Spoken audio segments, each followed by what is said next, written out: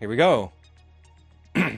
so I already forgot the order, but we're gonna go through like some of the machines and some of the the equipment, uh, starting with the resource well, I think, if I remember. Correctly. Uh, yes, the Yeah. resource well pressurizer. And um, so, um, yeah, just to, to sum it up, we want to go to a couple of stuff we did for update four, and just explain a little bit what what what were what were they thinking. And uh, I'm going to explain what were we thinking um, when we came up with these buildings, and uh, not diving in too deep because uh, somebody has to stop me. I can nerd out on this for hours, but uh, we'll just look into like a few specific things that we did for update four, like starting with the resource well pressurizer.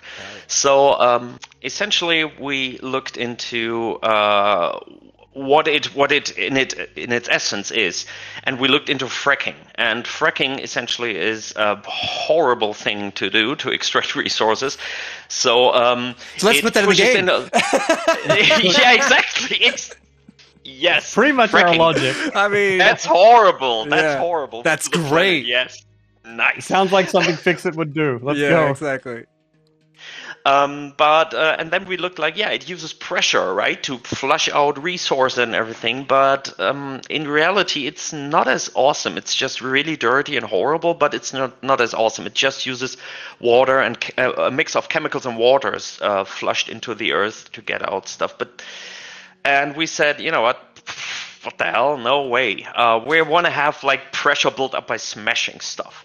Um, so we looked into having like a a thing hitting the ground over and over again, like um, and creating like a lot of um, a lot of violent uh, effects uh, doing that way. And along the way, we w- we went through a couple of different concepts and ideas, and we went f- with the three arms holding stuff and then smashing it into the ground, creating pressure that way. It a lot of sense in the real world, but the real world is boring, and this is much more violent and destructive. So of course we went for that. And part of the concepting that we did was also some of the stuff that is not as glamorous and interesting, and that is visualizing and concepting and figuring out a lot of game mechanical things. Finding out the exact distances, the placement of stuff, what assets do we need to produce to make that happen in the environment to make it look good. So it's uh, yeah, it's it's essentially not just the building, but everything around it and everything. And there's a lot of uh, it's it's a lot of passing the ball back and forth between like game design, art, and um, and also tech art and programming, who are essentially uh, essentially the, the the destroyers of dreams for us who say, well, that's nice, but we can't have that because this and this. So um, we go back and forth until we figure that out. But the yeah the the pressure wells were a lot of fun in that sense. Um, So this is like the the measurements of the nodes themselves to make sure that everything Exactly. fits? We need to figure out where the nodes are in the world, how many nodes there are actually, like, uh, and that is very, very game design driven. And then, of course, we have to figure out if you build a building, when you place it into the environment, it needs to fit in there and connect with the environment correctly. And yeah, so there's a lot of back and forth and figuring out, and that is what is one of the biggest thing I would say about Right. the pressure wells. The blender, the blender, yeah, that was also a really fun building. Yes, in all its Very glory. ominous. Oh, I mean, it is. This, so this is from the test level, I think. We have like a scene that we Mm. use for testing, and it's just like flat ground with nothing on it, and just like some nodes and a big white wall somewhere. Yeah. Or I don't know if it's still there or not, but yeah. hmm Exactly. Yeah, it looks very ominous, but the blender, yeah, it's uh, it was it was uh, pretty interesting because we were very very much uh, very much restricted by of course like every building. I, I should probably start by explaining that like every building every new factory building that we do has its uh, visual foundation in the idea of what recipes does it have what does it produce what does it uh, consume how big is it how modular should it be. And when you have all these filters already you cannot go completely crazy anymore you have to design something fitting to that so we had this very weird building that ate up solid stuff and fluid stuff and created both fluid and solid products, which was really fun to figure out. And by fun, I mean partly fun and partly was a pain in the ass to figure out because what is this thing? The name was actually pre- there pretty early, the blender, because it blends different materials and different resources. And we thought, well, why the hell not do a blender? Because um, personally, I'm a big fan of just using like smaller things that uh, know play on like experiences that people have in the real world and taking it over into like the sci-fi, fantasy, whatever crazy world. So we thought, well, let's make it a blender then. We partly looked into like existing mechanical stuff like giant blender tanks in uh, in, in factories smaller home blenders for your kitchen and all that stuff. But at the same time, we had to look into the size restrictions. Game design said two inputs, two fluid inputs, and a fluid output and a solid output. So that's already kind of a big building. So we did these blockers that you see here in all their glory. We usually do that in the editor in Unreal and just block out using basic geometric forms just to come up with, yeah, with the size and essentially the boundaries for the building. And it, it's interesting because we... you can definitely see the blender there, even in the block at it. It totally, that's the building essentially. Yeah, it's like a uh, silhouette. Yeah, it's the base. The basis is usually there using the block out. It's just a reality check to see is that does that size even make sense? Hmm. Um, is that was that see... block out like playable or was it just for visually uh, testing it? It was just for visual tests. Right. We did it in the editor, and it was just there. It was not a buildable. You could not interact with it. You could not attach anything to it. It was pretty much just, yeah, just a, a visual blob of yeah. uh, basic geometry. And on that basis, we went to the next phase and thinking, okay, what does it actually do? Because most buildings, we want to have a direction where do the resource inputs go? What does it do? And where is it processed? And where does it come out? So you need to have like a feeling of it goes through direction uh, it goes along a path along a production path so to speak in a building. So there were these uh, concepts until we finally settled for this one. You may know that some things are a bit different from the final product because the concepts we do are not uh, engineering blueprints they're concepts, there are art concepts. So the 3D artist fills in any gaps or corrects any uh, rough edges along the way in the model. And we also look along the way of the 3D production, we see we have certain stages where we see does this still make sense and do every once in a while do like reality checks. Do have like these stage gates. Uh, there's someone sometimes called like in projects where you say, okay, this is cool. We all agree this is cool. Let's keep going. So we don't end up having like a final product and say, nah, maybe not. Let's start from the concept phase again because that would eat would eat up way too much of our time. Then the next stage after that was to well, we need cool animations. So how does everything get processed? And especially in that building, we decided we want to have like some nice robot arms because the world of Satisfactory is so much about factories, so much about buildings, so much about cold machines. It's nice to have a little bit of personality and also Satisfactory has a lot of I mean more it it's it has a lot of goofy stuff going on here and there. Overall, it's an engineering game, but uh, we like to throw in a little personality and humor every once in a while. Without yeah, I think there's like one example is the like personal miner, right? There's there's still like a lot of personality in in various places in the um, buildings. So yeah, the personal miner I absolutely love. Yeah. And I wish we had more of that. it's yeah, yeah. really, really nice. Yeah. It's really cute. Speaking of personality, have... I think the drones have like Yeah, I think drones have a lot. Yeah. Yes. The personal miner looks like it's taking a shit. well I mean that's part of the personality. I yeah. that's that's part of the lore, baby. Yes. Plot twist: the the yeah. ore comes from the personal miners that poop it out. Yeah, exactly. What's more human uh, than that? All right. Sorry. Yeah, and the drones. The drones were essentially made the same way. Uh, in the bottom right, you see this horrible block out. Um, that looks amazing. Which, yeah, and we use that to just figure out how big is it And one of the guides for figuring out the size of the drones was actually how much does the cargo, how many inventory slots does it have? So it has to be something in between a personal storage chest and an industrial storage container. So it has to be something in between. So we need to we tweaked a lot with that. Also figuring out like at what altitude does it still need to be uh, visible and recognizable. So based on that we did yeah a lot of exploration for the for the visuals of that thing. And one of the bases basic things was we want something like the like the portable miner because it's just so much fun and it's cute. And it goes, yeah, it goes with the with the logic that it has some. Obviously, it ha- does have some artificial intelligence uh, in it. So after the first initial sketches that were discarded for various different reasons, partly technical, partly aesthetical, we uh, settled for this one, and it is essentially a mixture of the stuff below it's uh, the mixture of like the jet engines of an F-14, a Bumblebee, or generally like a bee because they're nice. They're they're they're uh, yeah they're workers, and um, of course the portable miner and some weirdly near future tech drone like a VTOL vertical takeoff and landing aircraft.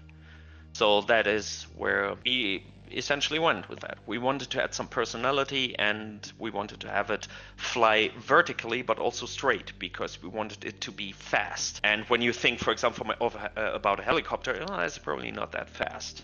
So we added this uh, the way of giving it like rotor blades for vertical takeoff and landing, but also giving it like um, like giving it wings and jet engines so that it can go from A to B rather quickly and they're pretty fast. Anybody who tried to stand on top of it, uh, they know. I've Seen videos of that, yeah. I, I've never Yeah. done that.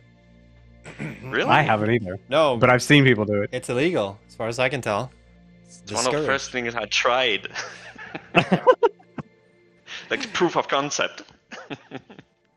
I mean, everyone's everyone stood on the uh like the drop ship as well, right? You know, everyone yeah. everyone No, no, tries never. it. Everyone tries it. You're going to jail. the the the top right one kind of looks like a container that sprouted legs, and now I kind of want a Just to container to walk just away. walk Ah! around. Oh, that'd be so Portable container. Yeah. When's it coming? portable container. Oh, on, on a little leash you can take with you. Oh Ah! my god. Maybe, but maybe not. It's all right. One dollar DLC. all- Portable That's container Torsten the art DLC. director talking to you right there. Don't worry. Okay, I- Community I can- managers have confirmed it. It's happening. yeah, Don't yeah, worry. yeah. You can confirm it's maybe coming, but maybe it's not. Yeah. So Do a QA post, please. Yeah. yeah, yeah, yeah. brace yourselves for not bracing yourself. One thing Um, that I think yeah. is cute, the the antenna part of like the, it's like a little bee. Oh yeah, yeah. That's cute. yes. Like in the middle yeah, we the, wanted we wanted it to have. I mean, how how can we show personality on a on a machine like that? Yeah. And it's obviously got to be something small because we can't have it running around, jumping around, or anything. So uh, yeah, and then we just wanted it to have these little uh, beetle or bug, these feelers or antennae. Um, which also helped uh, eventually with the with the charging animation. So like it like it drops the little feelers when it gets tired and then it just Aw. raises it again and adorable. Yeah. It's it's crazy this level of detail, and and I and I get the feeling that a lot of people won't pick up on all these little bits of detail, but they probably feel it coming through, like they feel feel it coming across. But like, how does it feel going into this much research and putting all these little details, but then like a lot of people won't point it out to themselves? Does that bother you at all, or is it just kind of like that's how it is? What's your Uh, no, the thing is, the thing is that yeah, you you go a lot into details. I mean, uh, you discuss details that most people will probably not care about, but I think you still you. There's a lot of things. Uh, the the amount of work that you put in there, it's got to be reasonable amount of work when you look at the production picture, of course. But uh, it's still worth it because Hmm. you can still feel it. Um, and there's there's a really interesting quote from from from Peter Jackson um, who's uh, obviously a complete nerd about what he does. Hmm. it's pretty funny that he he mentioned like there was there was a chest. He showed like a chest that was made, and the little uh, the little screws and bolts on the chest, they had like patterns on them, uh, and some metal worker put little patterns on it, and it was in the background somewhere in uh, in uh, Bilbo's home. And then in uh, in an interview, they asked like, "But do you even see details like that?" And he said, "Yeah, probably not. Maybe it's off camera, but I don't care because even if it's off camera, it's still uh, it, you can still feel it, and if people Yeah. don't see it, it still influences the actors and everybody on set, and everybody gets more, yeah, involved with it. Yeah, that's true. Yeah, yeah. So, uh, and I, I totally get that. Um, but again, it's a thin line. Do not go crazy about stuff that nobody Right. will ever see, but also you should care. So, Mhm. It's like if you don't, if it's not there, you kind of miss it. So I, I, I see what you mean yeah. with the feel thing. it's it's it's like the bass player. It's like the bass player. and I play bass. I can poke joke at. It's fine. It's fine. You miss Yeah, it when epical. it's gone. yeah. All right. yeah, for sure. Drones. Oh, sorry. Yeah. No, we were. So- yeah. Oh yeah, and the, The drone port. Uh, it's it's uh, yeah, it's less uh, yeah, it's a bit less to talk about, but it's the same thing. Um, with blocking blockouts, this was essentially our first idea. We wanted to have a big drone control tower, like a port. You have the inputs and outputs on the bottom, and then you have this tall thing, like having like a big majestic building to put up. But as you all know, uh, we went from the left concept to the right one. Um, partly because it's just it's just more economic, so it's less triangles, uh, it's uh, less polygon and um, less texture texture space, etc. But also mostly because it gives player enough choices. If they want to build a tower, they can build a tower. It's more of a platform, so you can make it into whatever you want. Um, Yeah. So we decided to scrap the giant tower. I remember a meeting I was in when Mark and Burke talked about this, and I remember Burke being, I don't remember who said it, but someone was like, "Why are they so tall?" it's like, I don't know, because it's cool. yeah, and it's a good reason. Yeah, but I totally understand the thing where, like, yeah, but if if Mhm. you make them modular in that sense, then you can decide if you want them to be towers or not, instead of them always Yeah. being like a huge chunk of your factory in in certain senses. Yeah, and of course, and that's part of the concept art phase. So uh, if you want to be a concept artist, prepare to get your work thrown out the window on a regular basis. but that's just part of the process of reaching the best possible thing in the end for the product, and which means for the player and having fun with it. So uh, yeah, I love the lights in the updates so much. Yeah, they're all right. Yeah. Yeah, they're okay. God damn it, they're so good.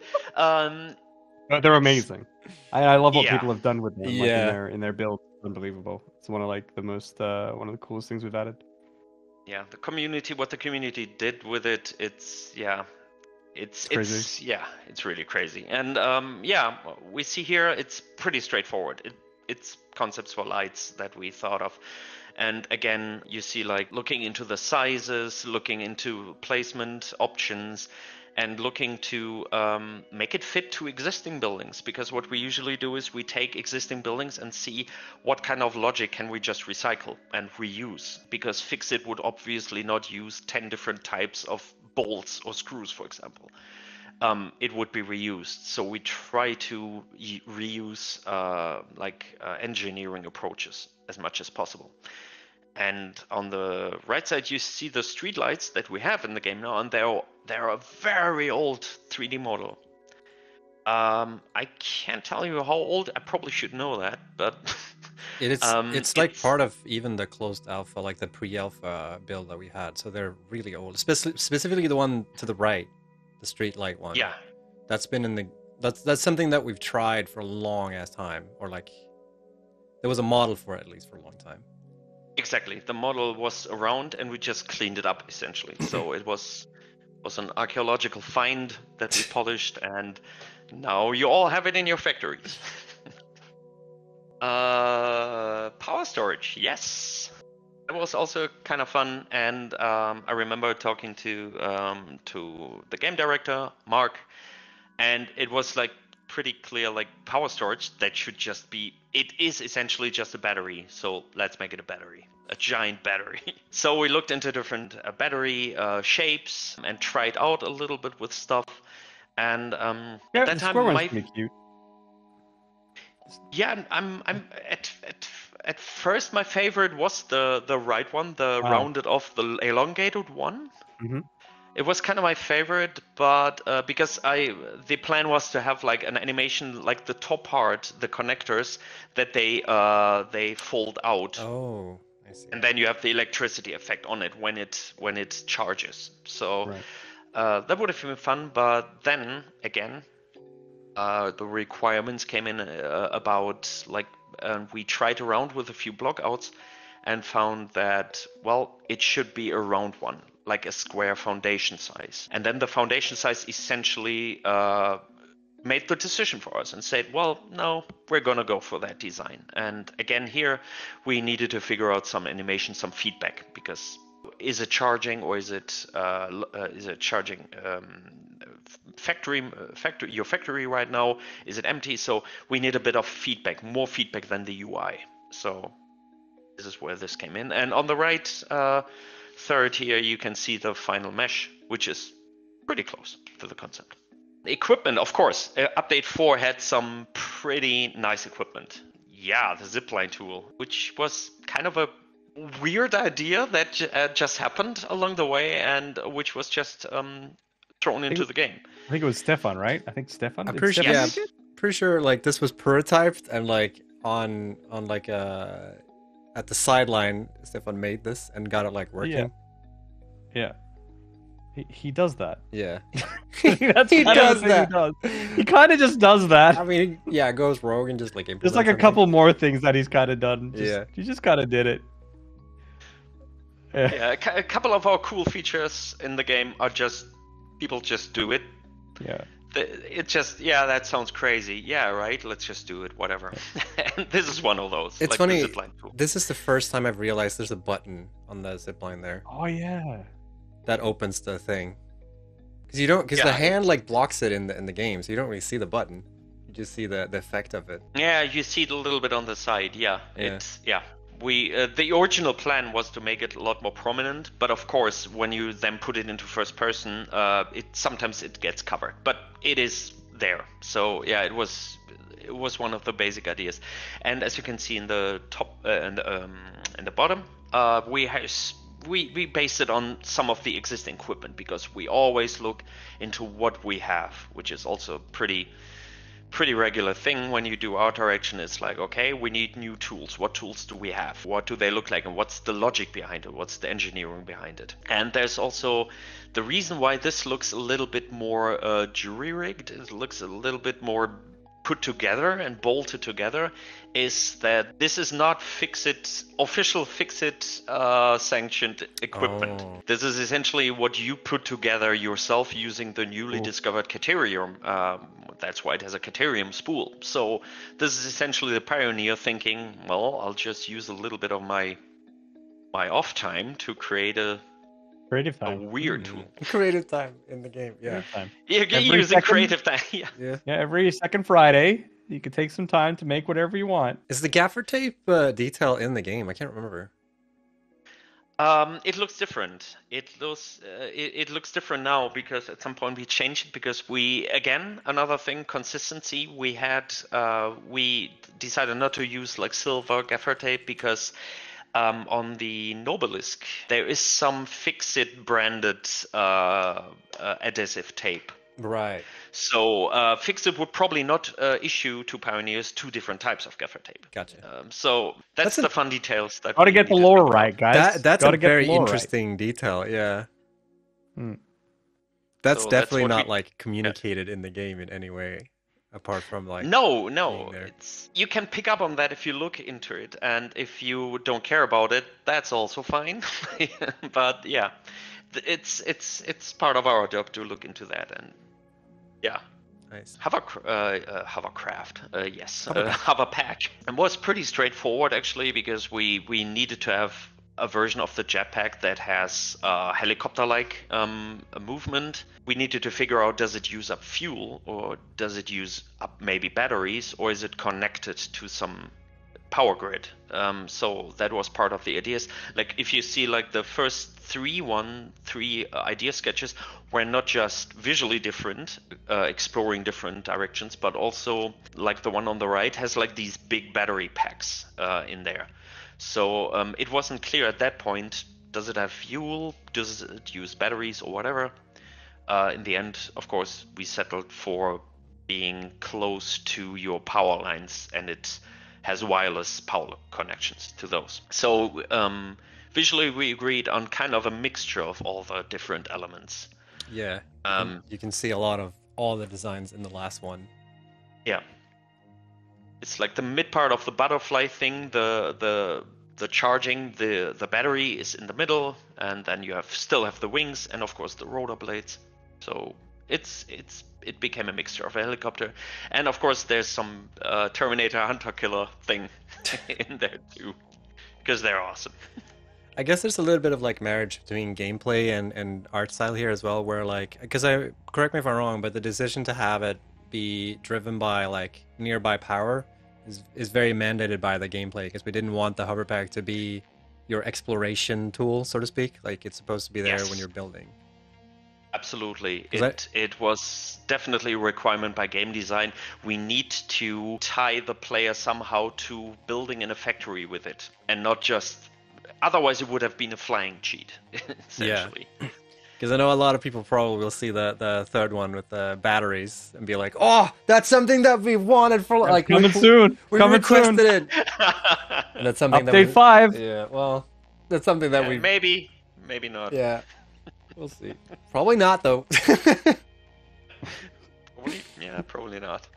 Uh, controls were, of course, we wondered how do we how do you control this thing, and then we wanted it to be partly like a game controller, like an old school game controller, because a lot of the FICSIT equipment is very chunky and sturdy. Uh, like when you look at these construction work grade phones that have like these solid big cases around it, we wanted it to be like that. Uh, but also looked into VR controllers, how they work and how uh, and there there was actually we thought about how you would actually control it like going up down sideways uh, strafe and um, thrust with that thing uh, like like creating thrust going forward and backward and stuff uh, so um, this is yeah there was a lot more thought put into than theoretically necessary but practically it helped it make a little bit more sense nice. but that's it That's it, for right? Yeah. uh yeah Neat. It's a lot of stuff though. Yeah, that's crazy. I hope I hope hope that was insightful to a lot of people because it was to me. It's un it's uncanny like how much detail you go into, and it's like you know I guess every discipline goes into a lot of detail. You know, if if every discipline were to go through and explain every little bit that they did, there'd be so much that everyone would miss. But uh, I mean, the art side of it and uh, the concept art side of it, especially, is just it's it's a discipline that I know nothing about. So this was still all like super new to me and super impressive. Even though I'm, you know, I'm on this team. Yeah. There's still so much stuff here that I didn't know. Uh, even if you, yeah, it's like even if you see the last, the final design, it's still so interesting to see sort of the the road to it. There's a lot of re- like the the drone tower thing, for instance, like that makes sense when you when you think about the the decision we actually took with Yeah. like having it be modular and having it close to the ground, so like you could pick and choose, Yeah. sort of. And then it makes like even though I was on Team Tower when I saw the first design the first time, I'm like, yeah, but it makes sense. So it was a good like. I'm glad that we're taking some right decisions sometimes. sometimes at least, Sometimes. Yeah. Yeah. So a lot of people, like I was keeping an eye on chat, and a lot of people were they enjoyed your presentation, Torsten. Thank you very much. Uh, Yes. thank you. Yeah, Yeah, it was was nice the- to share that with Yeah. people.